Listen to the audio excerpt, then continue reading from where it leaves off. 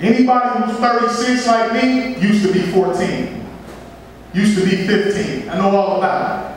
These adults in this room right now who have your future in their hands know all about it. First thing we're going to discuss before I get to academic achievement, before I get to self-respect, talk a little bit about respecting adults. I'm an adult.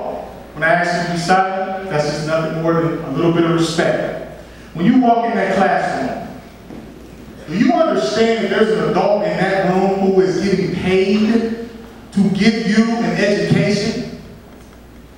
For you to show up late? Clamoring around? Talking during instruction? Or anything else that takes away from your education? Their paycheck is no, is, is no less with you sitting in there or you being at home. Understand, so it's your loss. When I was in the ninth grade, let me tell you the type of guy I used to be. Let me just backtrack a little bit before I get into you guys, you all. I'm from Columbus, Ohio. I went to a public high school, looked just like this. But I told myself, I'm going to be great. I don't care where I go to school. I don't care what city. I don't care who my mother is, my father, if I even know I didn't meet him till I was 20. So I know all about that too. My mother had me at 17, and she looked me in the face when I was six years old and said, let me tell you something. You're smart, you're beautiful, and you're the best. When I was six years old. Ever since, I, ever since that day,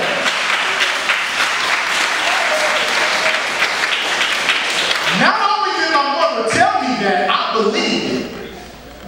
So ever since I was about six or seven years old, I knew I was going to be great at everything I decided to take on. Any endeavor, football, basketball, sports, respecting adults, whatever it was, doing the right thing, I wanted to be the best.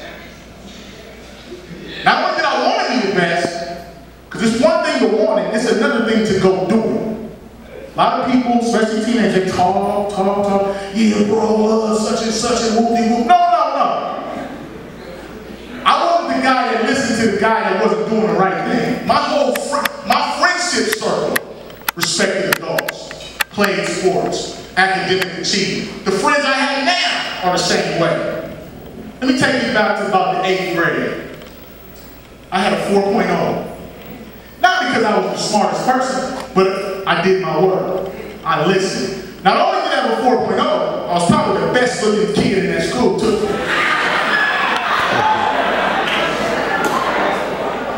See, my swag meter up there a little bit. but that wasn't enough though. The 4.0, that was cool, but I was on a basketball team.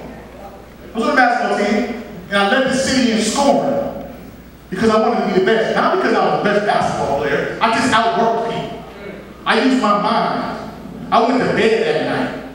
I didn't stay up on Facebook. They didn't have it, but they had Facebook. I didn't want it, just to tell you. But I did everything my mother asked me to do. She didn't make that much money. Only thing I asked my mom to do was take care of me, and I'll take care of you later. Take care of me right now. You know what my mother did? She went to work every day. She rode the bus. She didn't get her driver's license until she was 33. That means I was 16. So we was always on the bus. We rode the bus. Something that you kids probably, some of y'all don't know nothing about, always waiting for a ride. If you don't have a ride, you're not going. Either hey, ride your bike. It's cool to ride a bike. I'm gonna take y'all back to what's really cool. Because, because a lot of us got life twisted. When I was eight years old, I used to ride my bike to practice, to football practice. I would come home from school, do the dishes, do my all my chores before my mother even got off work. She didn't see me till 8 o'clock.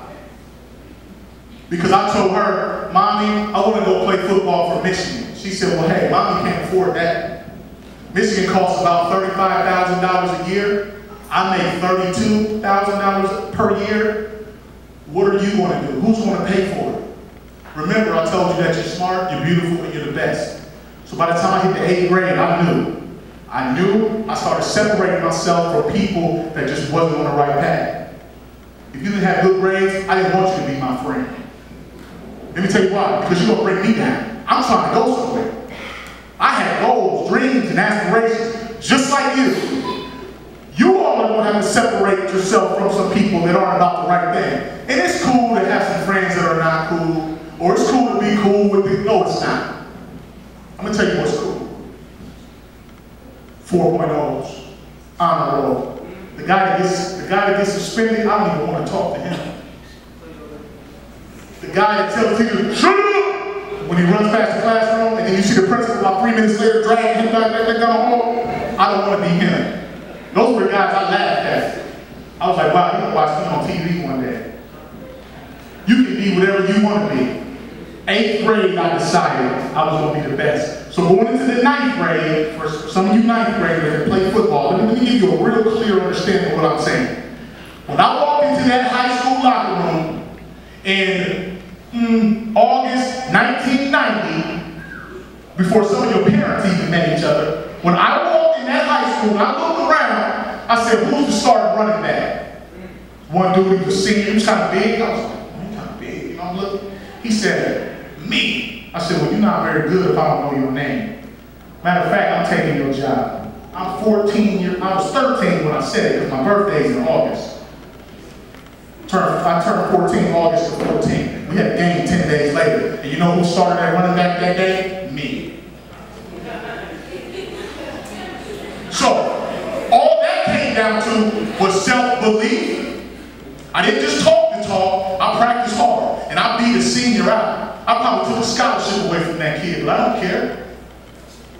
He didn't, he didn't come to play. Because let me tell you something. For every one of you sitting out here that's not taking life serious, and think it's a joke out here, there's another ninth grader somewhere in Miami, Chicago, Florida, that's waiting to take the job that's going to pay your bills later.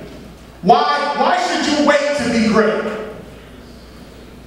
What's, what is really holding you back from being the best you can be today and tomorrow? We all got the same problems, believe it or not.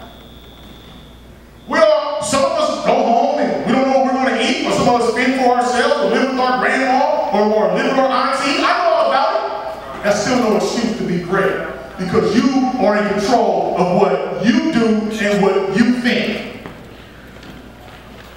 respect adults. I was a no ma'am, yes sir kind of guy. 14 years old in the ninth grade. Not only was I starting varsity, had a 3.8 in the ninth grade, but I said to myself, oh, this is going to take me to Michigan. Four years from now, I should be probably the best player in the country, if not one of them, because my mother told me six years ago that she can't afford to pay for me to go to Michigan.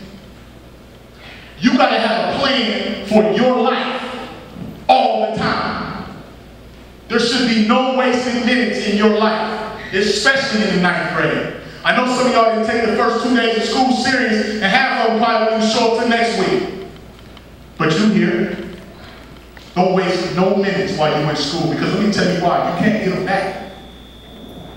When I missed a tackle, I couldn't push rewind and go back and get up and tackle this guy. I missed a tackle. But I learned from it. So from the ninth grade on, from the ninth grade, I love ninth graders. I love freshmen. Let me tell you why I love freshmen. Because you don't know nothing. You don't know anything. You think you know, but you don't know.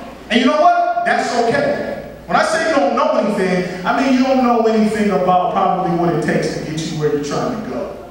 You know a little bit. You play Madden. You don't media takeout, Twitter. You know a little bit about that. I'm talking about don't know too much about life, and that's okay. That's why you always have to keep an open mind. When an adult is speaking, when an adult is talking to you, you know the best thing you should do? Listen. Don't even talk. Because some of us, no, I know because, no, you don't know. No, let me tell you what happened, Miss, Miss Smith, because, no. Okay. Okay is the most powerful word, phrase in our vocabulary. It solves a lot of problems. Hey, Mr. Ray, your jeans too tight, and you ain't